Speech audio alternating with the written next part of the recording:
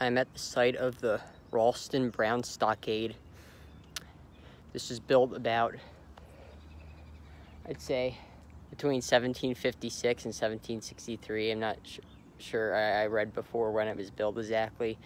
Um, some say that this is a later built barn, but as you can see, it's pretty old.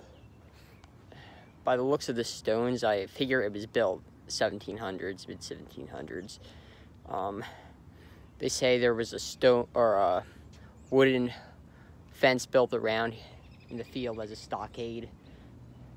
Keep the Indians out. You can see there's loopholes in the barn. Those it may have been used to um, air out the wheat or whatever they kept in the barn.